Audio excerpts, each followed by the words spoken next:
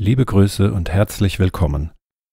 Dieses Video ist zum Großteil übernommen von Robert Seper. Der Link zum Original ist in der Videobeschreibung. Es geht um die russische Geschichte und die Ereignisse zu Beginn des 20. Jahrhunderts, die die Weltgeschichte für immer verändert haben.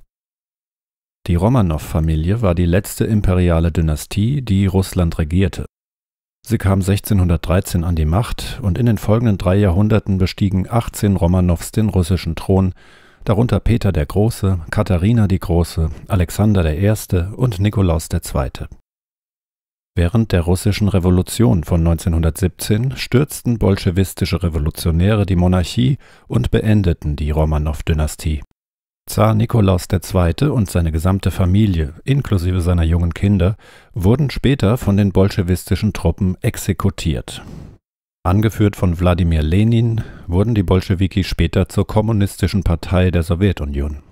Diese Revolution von 1917 und der darauffolgende Bürgerkrieg waren eines der explosivsten politischen Ereignisse des 20. Jahrhunderts, bei dem zwischen 30 und 50 Millionen Russen abgeschlachtet wurden und es war einer der grausamsten und brutalsten Völkermorde der Weltgeschichte.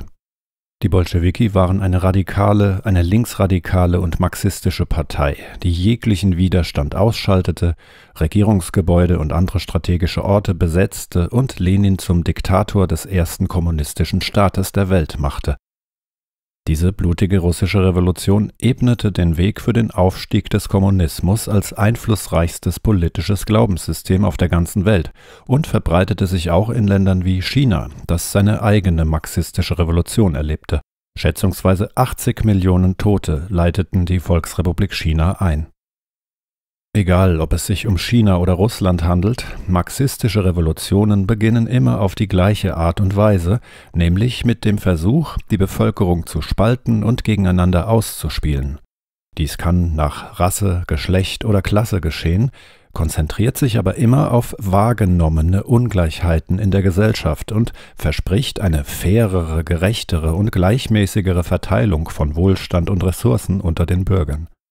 Das klingt zwar auf dem Papier gut, vor allem dort, wo extreme Unterschiede im Lebensstandard einer Gesellschaft bestehen, aber die neue Ordnung hält nie, was sie verspricht, und am Ende ähnelt sie doch der alten Ordnung, nur dass die Macht in die Hände einer weniger kompetenten und ineffektiven Form totalitärer Herrschaft übergeht. Wladimir Lenin starb 1924 und löste einen Machtkampf aus, der mit der Machtergreifung von Josef Stalin endete. Er war bis 1953 Führer der Kommunistischen Partei und führte die große Säuberung durch, um Gegner seiner Herrschaft zu beseitigen.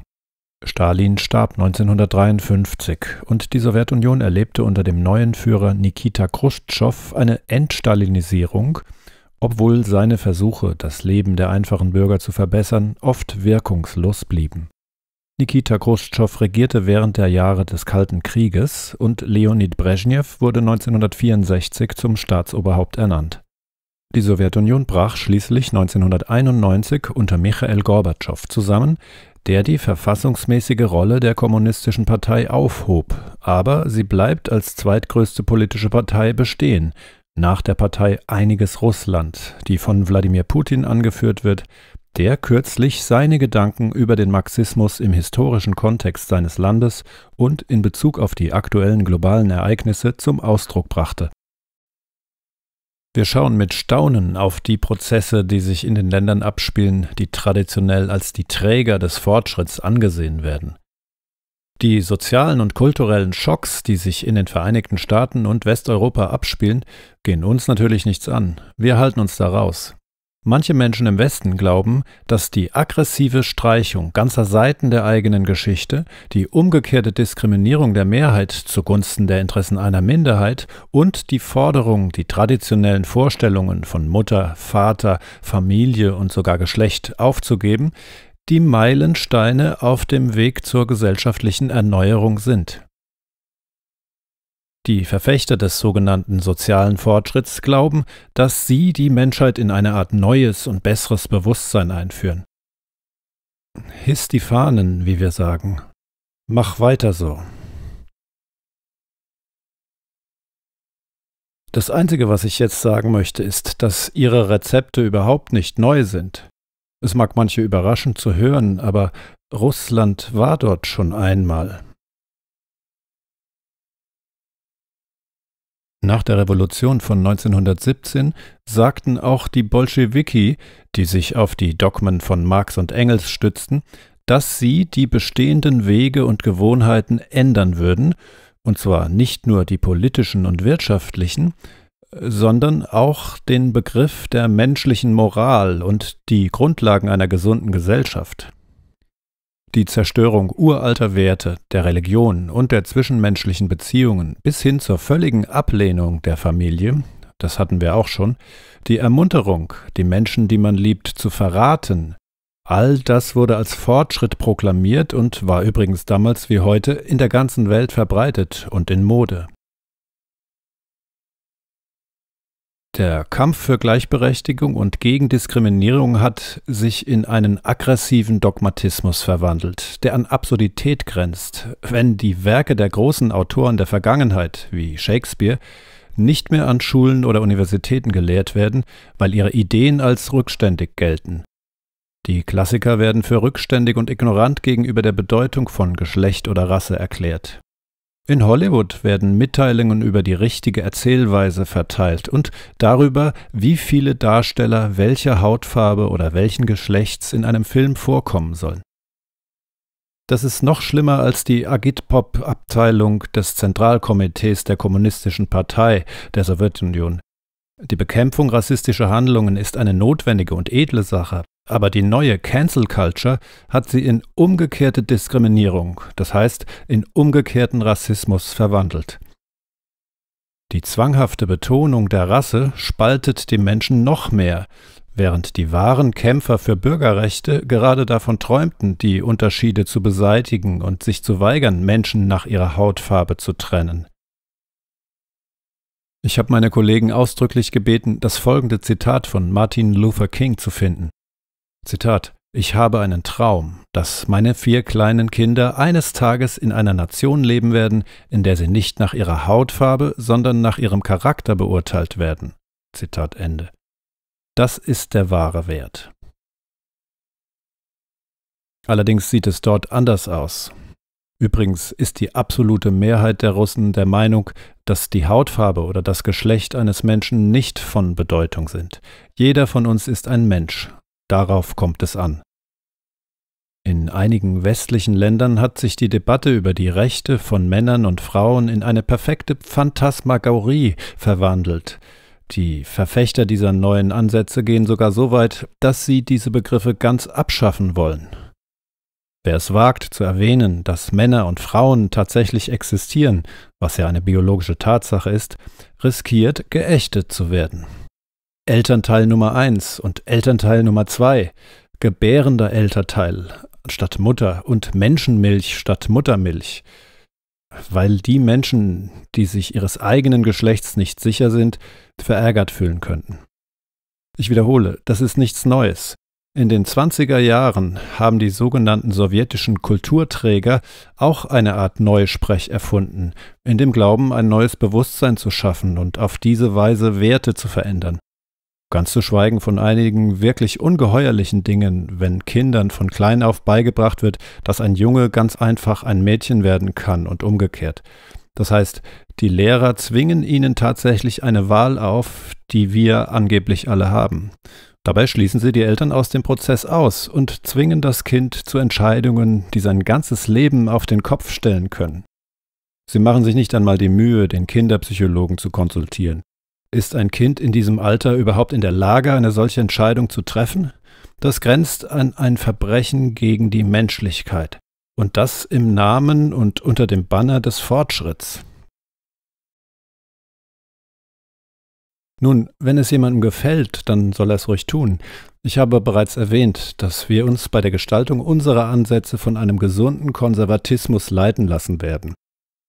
Das war vor einigen Jahren, als die Leidenschaften auf der internationalen Bühne noch nicht so hoch kochten wie heute, obwohl man natürlich sagen kann, dass schon damals Wolken aufzogen. Jetzt, wo die Welt eine strukturelle Zerrüttung durchmacht, ist die Bedeutung eines vernünftigen Konservatismus als Grundlage für einen politischen Kurs gerade wegen der sich vervielfachenden Risiken und Gefahren und der Zerbrechlichkeit der uns umgebenden Realität umso größer geworden. Präsident Wladimir Putin sagt, dass die sogenannte wache Ideologie die westliche Zivilisation zerstört. Er verurteilt den linksradikalen Progressivismus und vergleicht ihn mit den dunkelsten Tagen Russlands während der bolschewistischen kommunistischen Revolution von 1917, in der die Sowjets die Produktionsmittel beschlagnahmten und die Regierung stürzten. Die meisten westlichen und vor allem amerikanischen Schüler werden nicht über die marxistischen Taktiken unterrichtet, die den Kommunismus einleiteten, und über den massenhaften Tod, der damit unweigerlich einherging. Stattdessen wird ihnen die kritische Rassentheorie beigebracht, eine afrozentrische Propaganda, bei der es nicht darum geht, Gleichheit herzustellen, sondern eine bestimmte Völkerungsgruppe zu dämonisieren und zu verunglimpfen, um eine bestehende Machtstruktur auszurotten und ihren Zusammenbruch herbeizuführen. Familienwerte, Religion, Rasse, Geschlecht, Moral und Nationalismus werden von Hollywood, den Medien und der Akademie als Bedrohung dargestellt. Und dies wird in historischen Berichten über das Deutschland des 20. Jahrhunderts verstärkt, das mit demselben Genozid konfrontiert war, der gerade das russische Volk dezimiert hatte.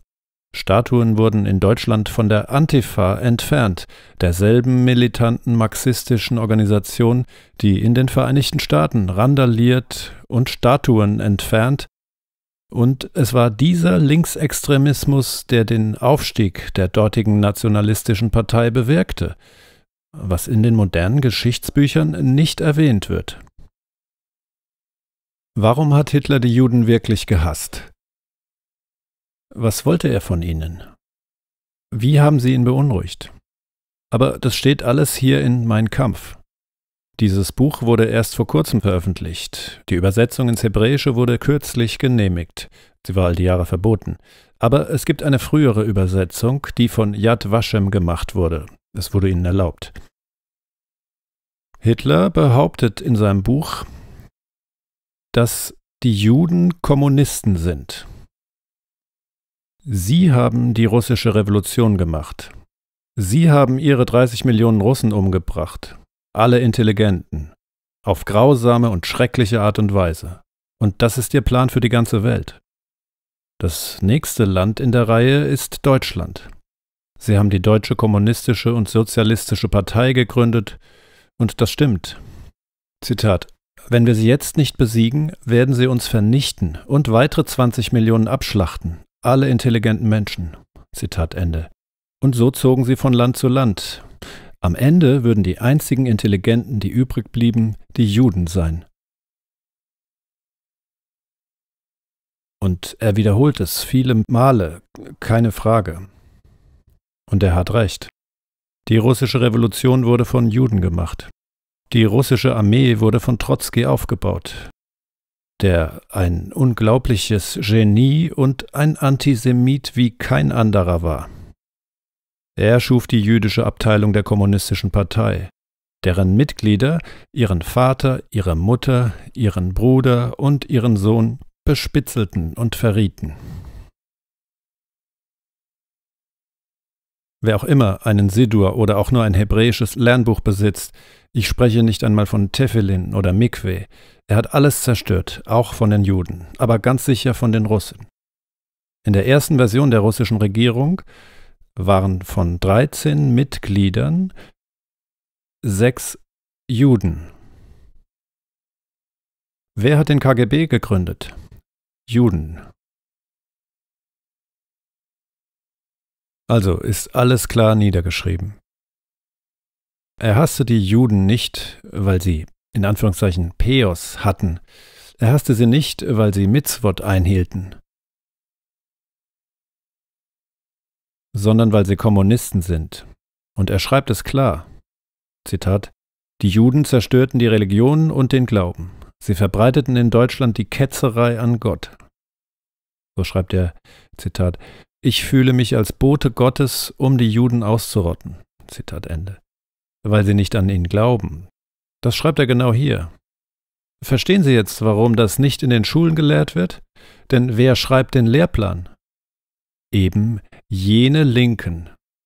Natürlich schreiben sie nicht, dass Hitler die Juden töten wollte, weil sie die Vorvater der Linken und der Vorväter des Marxismus, des Kommunismus und des Leninismus sind.